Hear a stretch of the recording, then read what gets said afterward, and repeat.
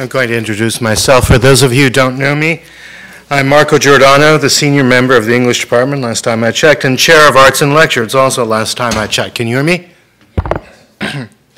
when I first proposed to that committee two years ago that I would be willing to speak on fascism in case we had an open speaking slot in our schedule we couldn't fill that year, I remarked that it might be too late the next. And when we didn't have an opening that year, I made the same remark the next year while I arranged this three part presentation by English instructors on related political themes. I've been having to change my exordium every week, so I've just decided to scrap it.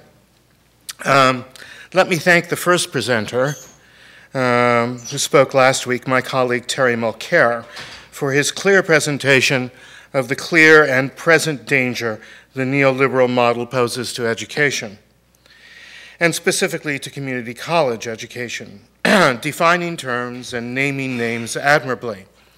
I hope to have extended the discussion by the end of this talk, particularly in the defining of terms through the naming of names, specifically of several of my grandparents, not, not the defining of my personal point of view or the credentialing of personal authority on the matter of fascism, but the defining of the term itself.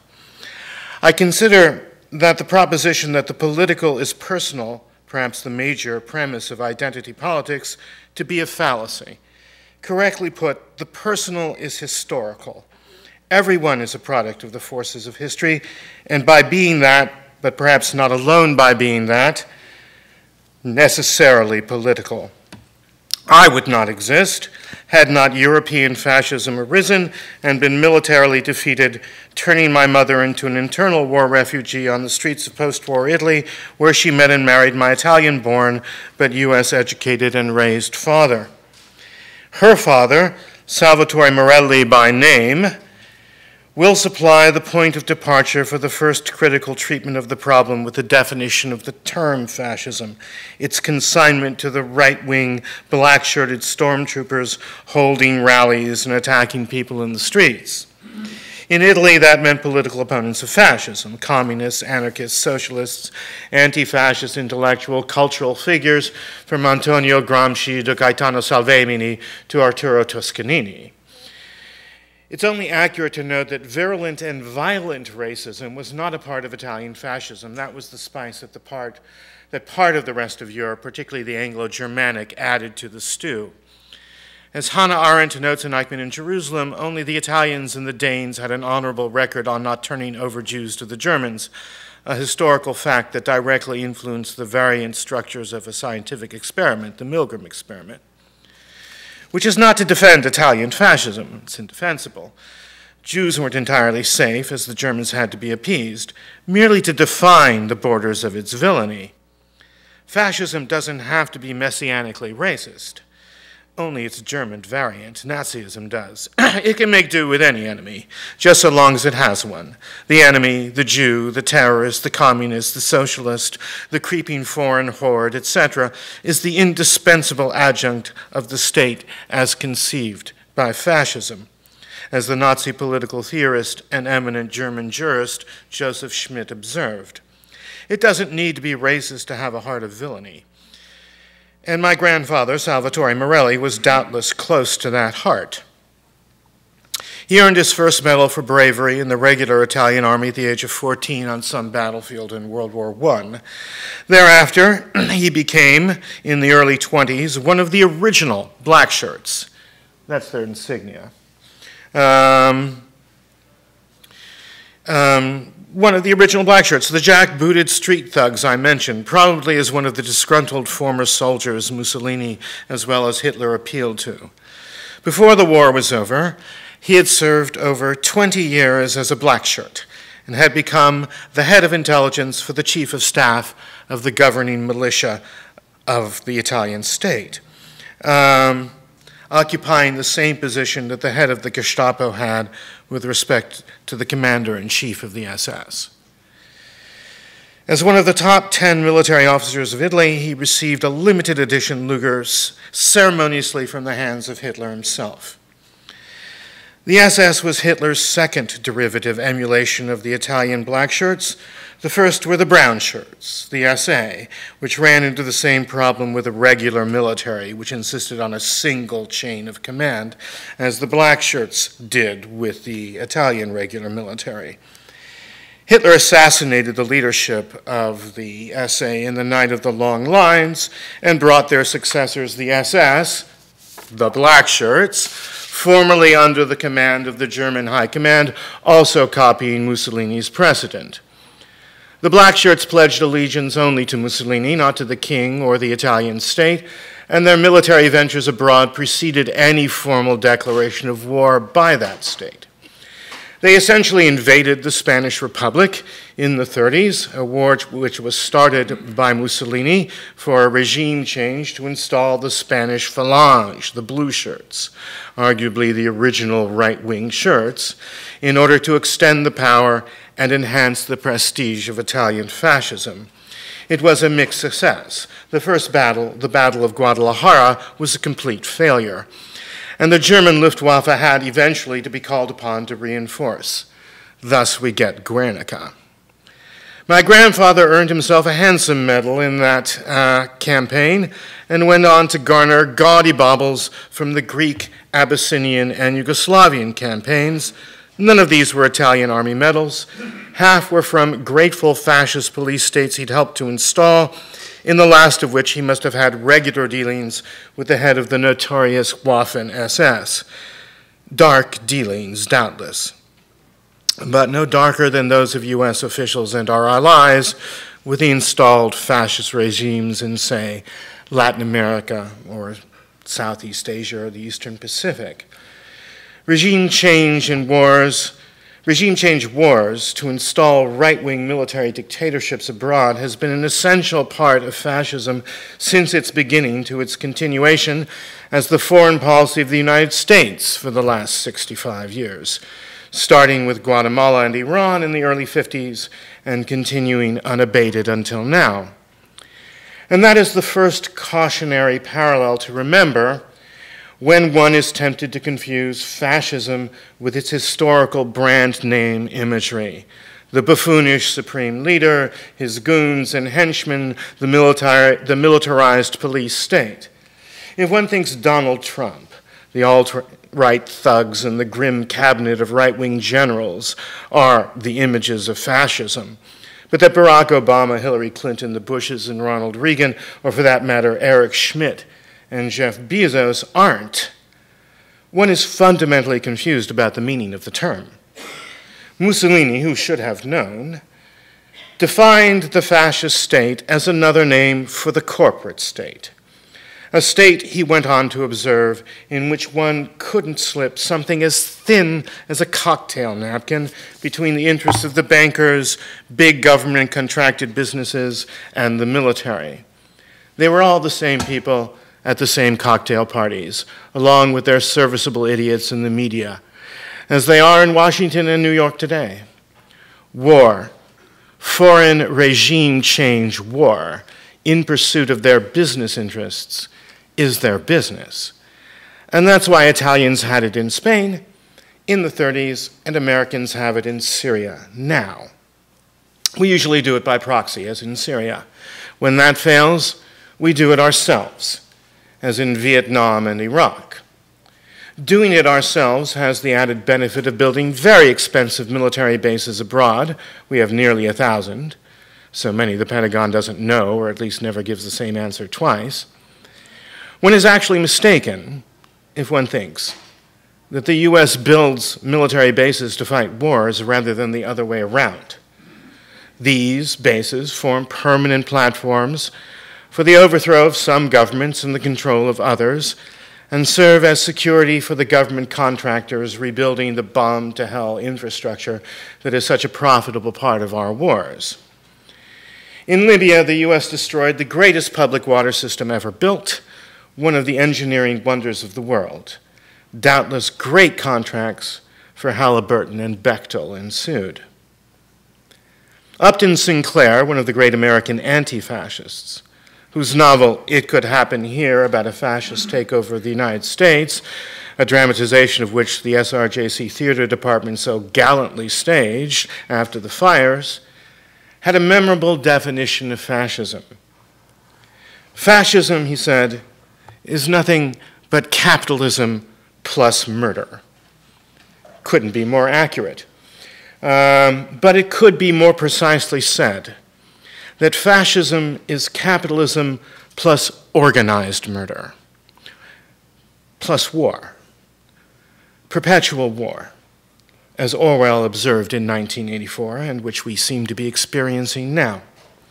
Imperialist war, the only assuredly perpetual one, since there must always be new territories to bring under hegemonic control, and hence perpetual struggle to control or maintain control of them. Fascism, by which I mean at the moment the exterior historical fascist state, may be said to accompany a particular moment in the history of a state, and to understand that moment, we need only follow the symbol of fascism. It's that hammer and axe in the, in the middle of the wings there. To follow the symbol of fascism, the fasces, through the history of the family of my other maternal grandparent, the Countess Cesira Marcelli Flori, who had to pay to get a previous marriage of her fascist Superman fiancé annulled so that he could marry into the aristocracy. The family, the family he married into legitimately traces its ancestry back to a famous general of the Roman Republic. The mosaic wall illustrating the family tree is an official Italian government monument. And the symbol of the fasces dates at least back to then, where it symbolized the unity of the peoples united under the control of Rome around the symbol of authority and force of the Roman state. The fasces was wielded by a lictor, the black shirts thought of themselves roughly along those lines. Their army was broken down into the units of the Roman army, not the units of the regular Italian army. Um, lictors were the official bodyguards and police of official state officers in the Roman Republican Empire the number of lictors denoting the rank of the officer, 12 being the traditional maximum, with none allowed within the official boundary of the city of Rome, except in the rare cases of dictators, emergency, and temporary rulers. This may be said to symbolize an essential fact of the Republic that outside Rome it ruled by force, but inside by discourse since lictors were traditionally never allowed in the forum, even to an emperor. The original meaning of the office of emperor, Latin imperator, was military governor of a subject province of Rome. Julius Caesar was emperor of Gaul. An imperator originally had no power over Romans in Rome, and his 12 lictors were not allowed him in the forum. When the Republic collapsed into empire, Octavian, Caesar's nephew, became Emperor Augustus, the first emperor of Rome, which signifies that Rome was in military occupation of itself. The fasces had been brought into the forum and installed permanently. The institutions of the Republic remained as ours do there was a Senate which met in the forum meaninglessly. Eventually, it sent the Emperor Tiberius, who had retired to his villa where he had the largest corps of prostitutes and collection of pornography of ancient times, a letter to the effect that it had become inconvenient for the Senate to meet every time one of the emperor's orders had to be officially approved. Would he not consent to a permanent standing approval of everything he ordered ahead of time? How eager you are to be slaves, he worked back. Augustus, sensible of the contradiction in terms of his title, said on his deathbed, The farce is finally over. Unfortunately, it had just begun.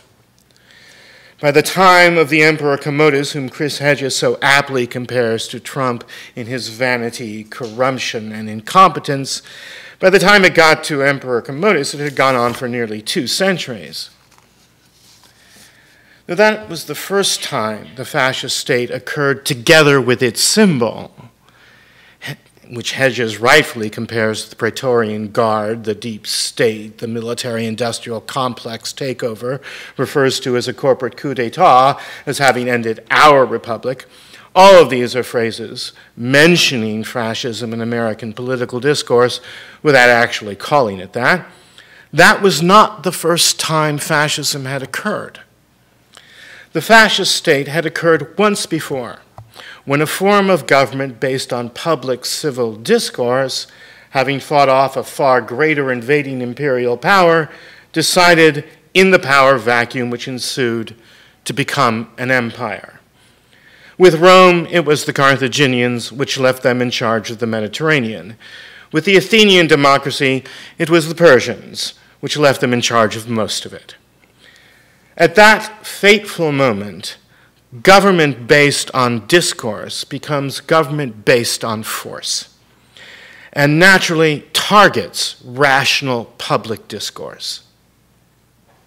Thucydides, the first great historian of state power, lays down the first unbreakable historical law, calls it the Great Movement, which posterity will have to understand in order not to repeat that everything the empire does to control its subject dominions on periphery collapses upon the center. Empire collapses upon its own center. The fascist rules the forum, and the medium of the forum, language itself, collapses, loses its capacity to reflect on the uses of political power, becomes weaponized against the enemy and starts looking for enemies everywhere. Sound familiar? Socrates goes into the street and not only asserts that he has met no Athenian who has the slightest idea of what virtue is, but invents critical thinking and Western logic, one of my arts, to prove it. And he never fails to prove it at the expense of the private militia leaders and public intellectuals of his day. Naturally, they have him killed. Sophocles, of the same generation, gives the first definitive definition of the fascist state in his great play, Antigone, where Creon asserts the right of the state, organized along strictly military lines, to trample upon fundamental and sacred human rights. His son, Haemon, in one of the greatest scenes in literature, makes the first anti fascist argument that such a state does not allow anything that could be called human to exist in it. That his father may as well be the dictator of a desert. Sophocles' father was a wealthy defense contractor. He was a high military official during the war. His father made armor for the army. I suspect there were similar scenes at home. I, as a precocious child of the San Francisco 60s, sure had them with my father. And he wasn't a defense contractor. He was, like most of the American public then and now, simply brainwashed by them. General Electric, the biggest defense contractor at that time, owned NBC. And the president of General Electric was not shy about telling the president of NBC whom he worked for. William Colby, one former head of the CIA, bragged over 40 years ago that the CIA owned everyone of any significance in the media, and another head of the CIA, William Casey, declared at his first staff meeting in 1981 We'll know our disinformation program is complete when everything the American public believes is false. Today, the consolidation of that media worldwide behind the imperial corporate state, the deep state, the military industrial complex, the shadow government, the corporate coup d'etat, or whatever else you wish to call the fascist state, has progressed much farther. It is global, and it is collapsing upon the center, which means that we can expect the very same playbook that is used upon the imperial periphery to be used upon us. Um, one of the first uses of that playbook was in Italy after the war. Um, the Italians were understandably tired of the fascist state, as it had led to their ruin. And Mussolini, unlike Hitler, had never won an election. he was installed as head of state by the king, for which betrayal the entire royal family was exiled from Italy after the war. The Italians were ready to go communist in the next elections. Not Marxist, Leninist, not Russian communist like all the rest. The Italian Communist Party was headed by the greatest anti fascist political theorist of all time, Antonio Gramsci. But that suited the American plan after the war as much as Gramsci had suited Mussolini during it, who had, who had to put, as his then security chief said, that brain in jail. So after the war, the CIA and elements of the Italian right wing and the Catholic Church and an infamous Masonic lodge, which was still active in providing Colin Powell false data for his UN speech justifying our invasion of Iraq, concocted Operation Gladio. This is an official finding of an official Italian investigation and established historical fact. Operation Gladio consisted of a series of terrorist false flags railroad stations, bus stations, any place of large public gatherings bombed or strafed, like the Las Vegas Strip or the Boston Marathon, and the violence blamed on the left wing, or in the case of the American public, the terrorists, all to keep the public in a constant state of fear and tension so they wouldn't vote left wing or in the case of the American public, so they would buy into another little chunk of the corporate security state with the sacrifice of what little is left of our civil liberties. It worked then, and it's working now. Total spectrum dominance, as the Pentagon so charmingly puts it. You control the market for the fascist state, and you control the production of it. It's a business model and as such leads us to the term designating the quintessential business model, something synonymous with capitalism, at least in our time neoliberalism. It's a commonplace in European political discourse to equate neoliberalism with fascism. The president of Belgium's magistrates, a combination of federal judge and prosecutor, is on record as equating the two, as is her sister uh, the president of New, New Zealand, not her sister in politics. But it is not on her authority or anyone else's that, identi- that that identity exists. It is a matter of historical fact.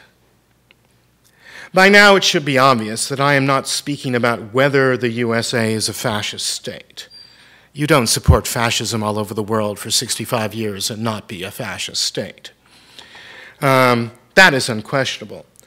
The question is when it became one, formally, or rather, when neoliberalism became its banner. It did so on 9 11, but not the 9 11 you all think of. 9 11, 1973, when the US overthrew the government of Chile, which had a constitution practically identical to its own and very nearly as old and installed neoliberalism as the policy and ideology of a fascist military state in the Americas. Back then, neoliberalism was an economic theory espoused by the University of Chicago economists. It consisted in the doctrine that markets were self regulating, a contradiction in terms since a market is nothing but a set of regulations, which was, repeated, and which was repeatedly refuted by history. Markets are not self regulating, they crash. But regardless of the invalidity of that argument, all regulations on capitalist enterprise, including environmental ones, needed to be eliminated. After the coup, which deposed Allende and installed the fascist Pinochet, the Chicago boys were put in charge of, Chileans, of the Chilean fascist state's economic policies. They promptly drove the Chilean economy into the ground while labor leaders, native resistors, critical college professors, and anti fascist cultural figures like Victor Jara, Victoria Parra, and Pablo Neruda were assassinated or otherwise disappeared. Thousands of them. It's still going on all over Latin America. The usual fascist agenda. It had happened in Italy and Spain, not to mention Nazi Germany.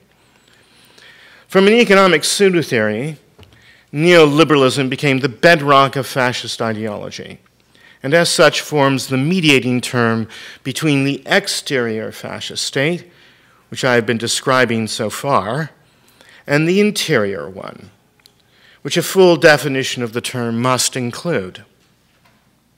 The most precise definition of it comes before the term is invented by, not surprisingly, one of the great, or the greatest, critic of capitalism, Karl Marx, who defines it as one of the essential principles of capitalism and thus supports the general direction of the argument Terry Mulcair made here a week ago. That principle is known as commodity fetishism, something Adam Smith had warned against as the chief moral hazard of capitalism without having a name for it.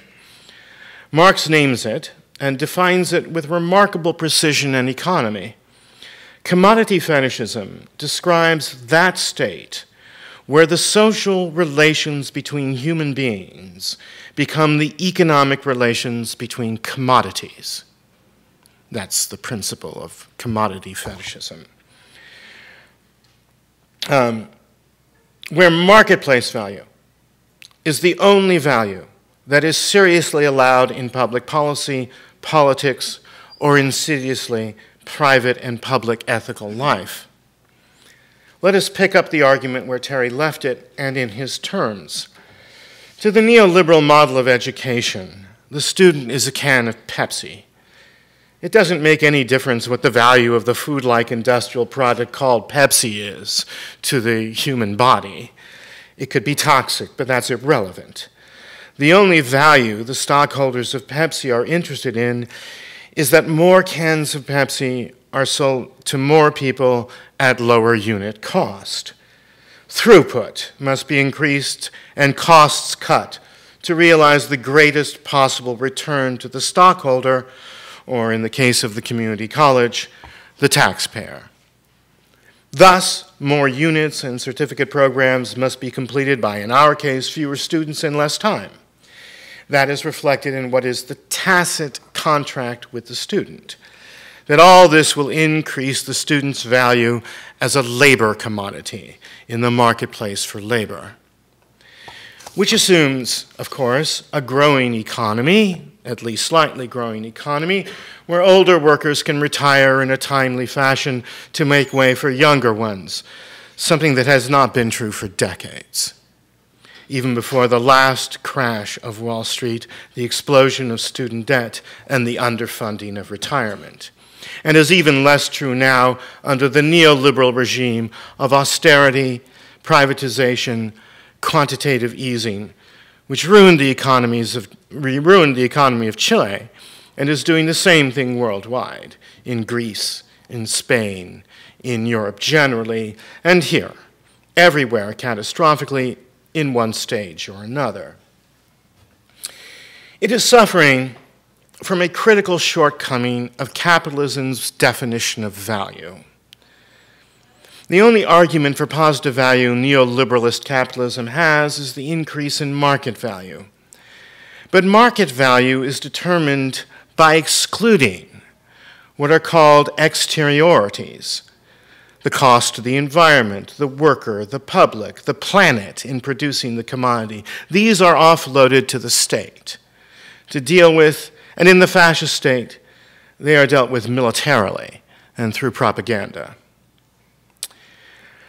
Take the major sectors of the economy big agriculture, big pharma, the defense contractors, which also supply your consumer goods, the oil companies, insurance companies, and the banks add to their costs all the exteriorities, the taxes they don't pay, the wars needed to secure their supply of cheap raw materials and labor, the immense government subsidies they enjoy, and you will find that they are not economically efficient institutions at all. Quite the contrary. They are institutions of social control. That's what they do. And that includes the schools. Eisenhower, who first introduced the topic of fascism to American public discourse when he called it the military industrial congressional complex, right after he did so, he went on to warn against its influence in education, which, um, which now is bent on wealth extraction, like the rest of the economy, from the population through debt or imprisonment. We're building prisons faster than we're building schools, and we're paying prison guards more than college professors. And the schools are ensuring that an entire generation's income will be wasted on debt servicing rather than directed productively into the economy the money you're not you're paying to the bank on interest. You're not paying to construction contractors to build you a house that you can afford. Um, that is their real economic function.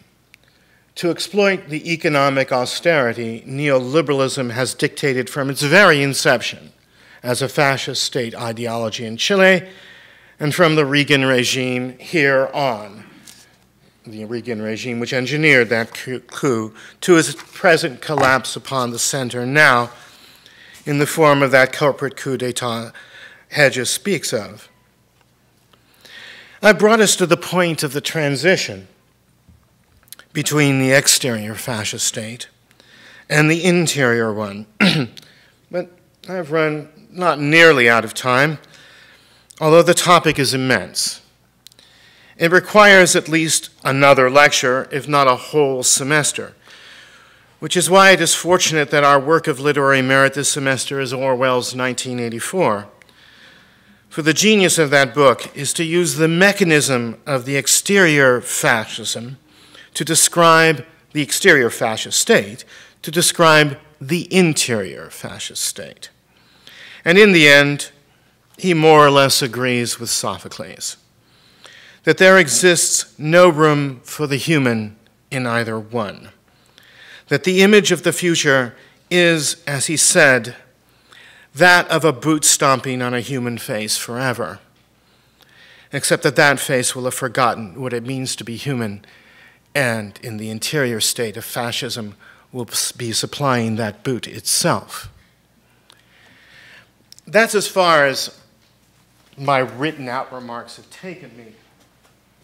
And I wish to introduce, at least for discussion, the interior state of fascism by telling a, story about my grandmother, the wife of Salvatore Morelli. My grandmother, the Contessa, was a, a gifted woman, a, a, very talented linguist. In order to escape the depredations of her aristocratic family, she went to France and earned, uh, unusual for a woman of that generation, a graduate degree in French literature, which meant that she was uh, license to teach French literature anywhere in France and in French. Um, she eventually um, joined my grandfather in Spain, where a grateful Spanish fascist government was protecting him, but didn't like him very much either, and so spent for most of her life, uh, my early childhood and my late adolescence and adulthood, she spent with our family and with my mother after the divorce. Um, we used to talk to each other. By the time I had finished uh, high school, I could read and speak French. So we'd read the same things, and we would have not so much discussions as remarks um, about French literature um, also about Italian literature. And I remember at one point um, I gave her um, uh, Gabriel Garcia Marquez's book, I think it's called Twilight of the General.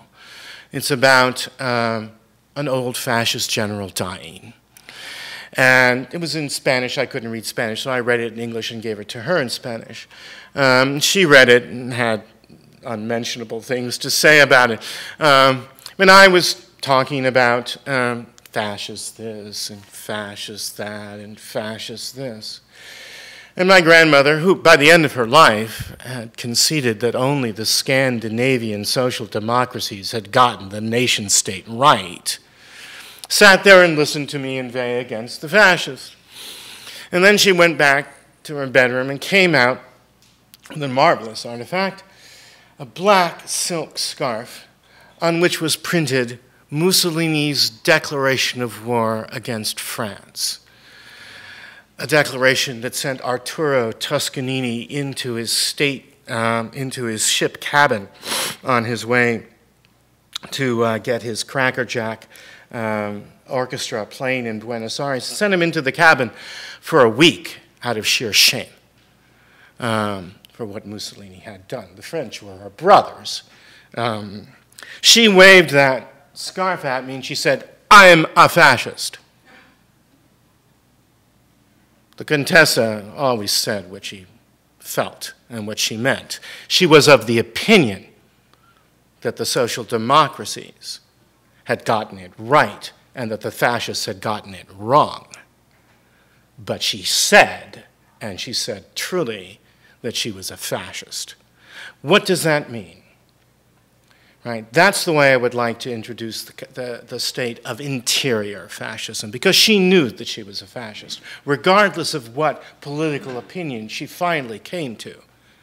She was an authority on the inner fascist state, if anyone was. Um, and, and, and the way to understand that, I think, is to um, understand what Hannah Arendt uh, says. Um, about those people who are morally reliable and morally unreliable in these extreme circumstances. She says the morally, the only morally reliable people are not the people who say, I disagree. They are the people who say, I can't. And then there are the people who say, I will or I won't do it. Um, that distinguishes the inner state of fascism. Because when one reaches a fascist state, one has reached a particular point in history where one is really not given a choice. One must be either a fascist or an anti fascist. One cannot be, as Antonio Gramsci and Alberto Moravia uh, point out, one cannot be one of the indifferenti, one of the people who are non committed. And Gramsci's great uh, essay, Odio agli indifferenti, um, is in fact read at rock concerts and, and, and, and large convocations of non fascist types in Europe and gets standing applause. Um, the indifferent are fascists. And, um, and that is what they, that is perhaps the beginning thing to understand about what the interior state of fascism actually is. Um, the, the, the, interior state of fascism that we are experiencing, it, it isn't the, the hysterical um, um, fascist in the street, it's the indifferent.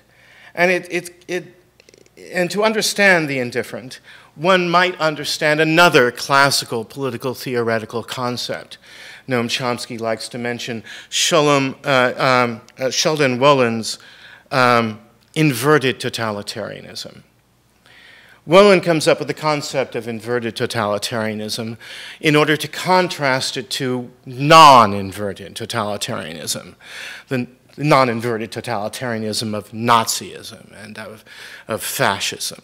Um, non-inverted totalitarianism, the good old-fashioned fascist model, um, is a form of identity politics. Um, in, in that form, only the leader really has an identity, right? Everyone else's identity is a function of the leader. But the leader is as charismatic as any media figure that we have here. There are multiple gratifications of the need for affiliation, sort of like what one feels for the corporate entities of sports teams.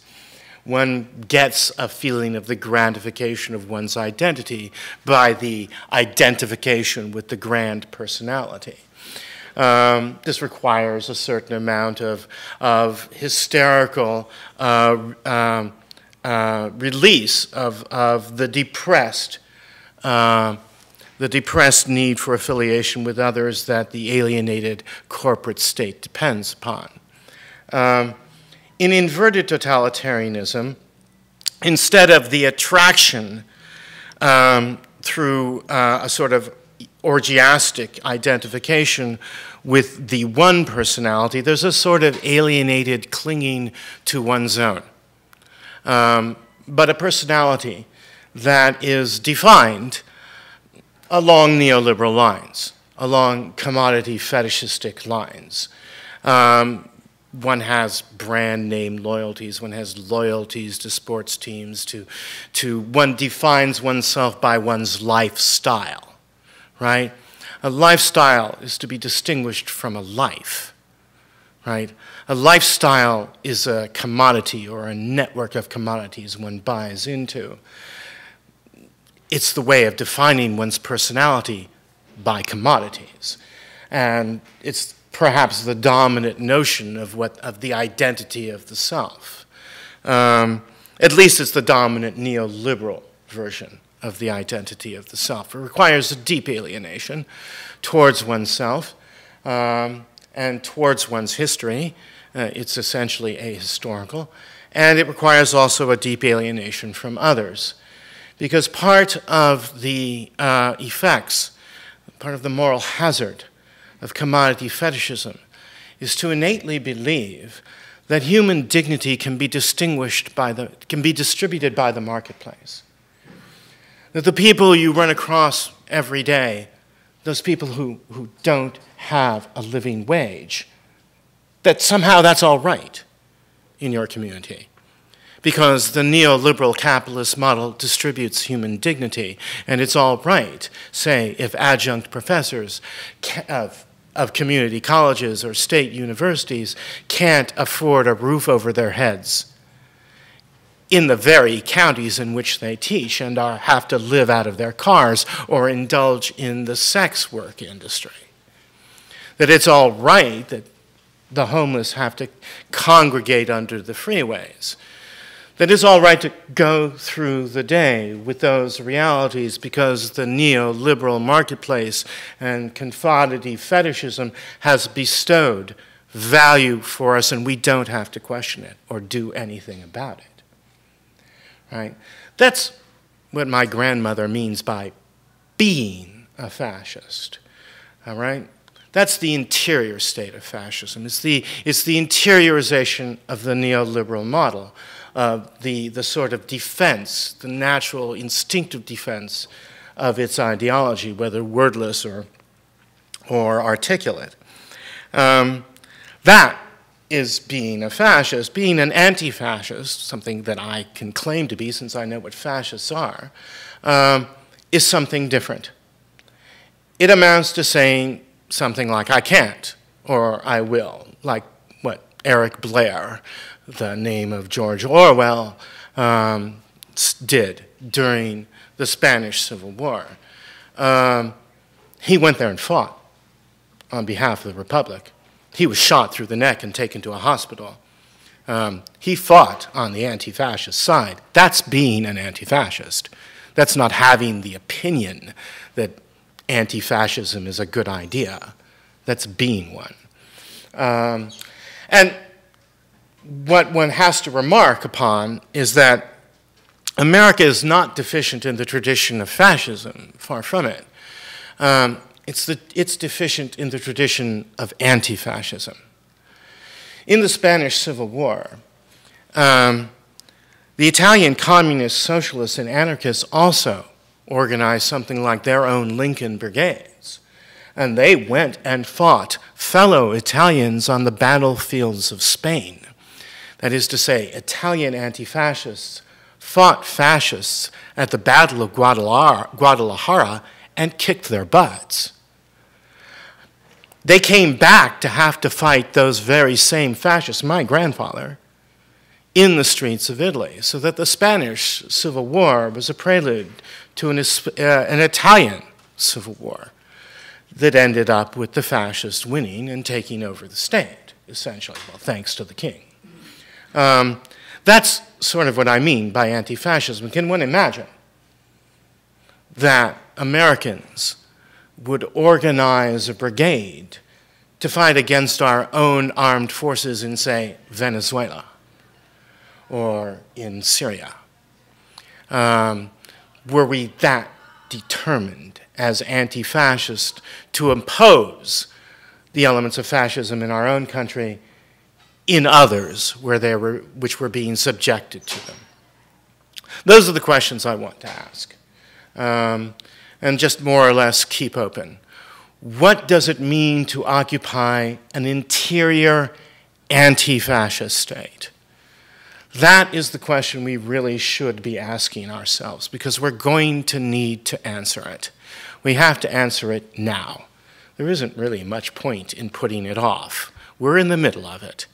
And, um, and fascism is, as I said, a particular moment in the history of the state. It's its penultimate moment before it descends into civil war. Um, and that is another reason why we should be asking ourselves that question what it seriously means to be an anti fascist. Because the indifferent will be just greasing the slides to civil war. Um, that's where I want to leave the question. I want to leave the question there, and I want to leave it with Orwell. Because Orwell, as I said, does an excellent job of giving you an allegory of the interior fascist state by using the ins institutions of the exterior fascist state. Thus, Newspeak, Thought Police, the Bureau of Truth, although they have their analogs in our exterior historical reality, also have their analogs in our interior one. It's not an accident that propaganda is born before fascism. It's born in, basically at the beginning of World War I. And propaganda, especially as Edgar Bernays and, and uh, Joseph Goebbels uh, uh, conceived it, is there to create an inner fascist state that the exterior fascist state can appeal to. Without that inner state, the outer state is powerless. That's where I want to leave the question. The powerlessness of fascism lies with you. It lies with the unempowering of it in the inner states. And we can only actually begin to do that because the depth of that interiorization has been produced by schooling, propaganda, the total spectrum dominance of culture and the media that the neoliberal uh, fascist model has achieved. Um, we're in dire straits. And we have to start from the interior and not just stay there, move to the exterior. We have to be like Orwell. We have to be able to stand up and take the bullet in order to be anti fascists, at least symbolically. That's where I want to leave the question for you.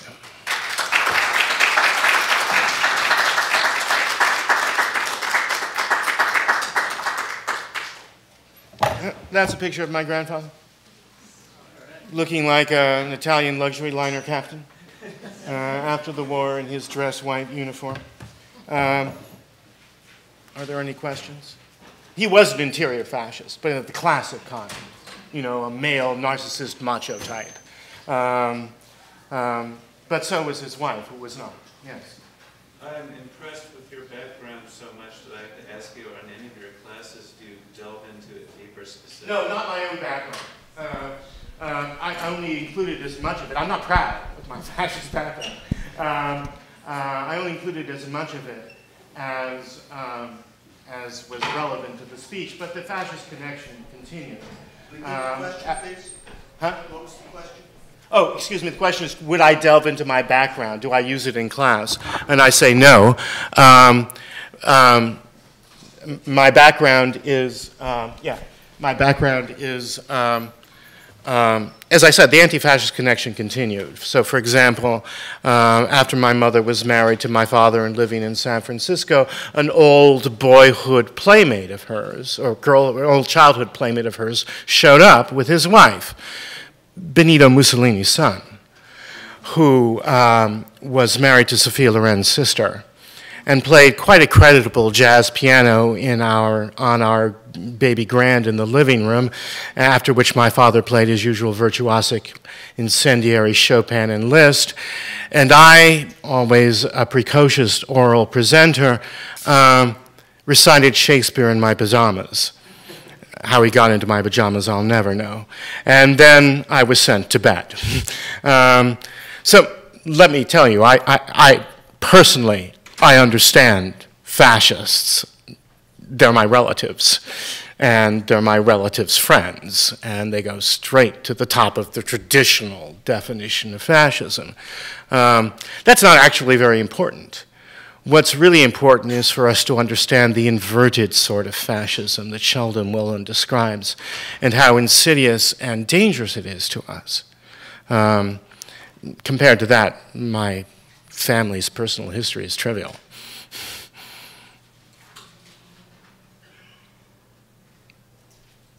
Any other questions? Yes, here.